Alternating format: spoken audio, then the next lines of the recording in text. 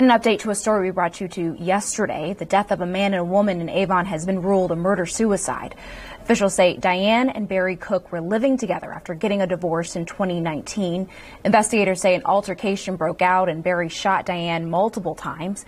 That's when police say Barry turned the gun on himself. Well, police are still investigating this incident, but they're also asking for help to find family members for Barry Cook at this time.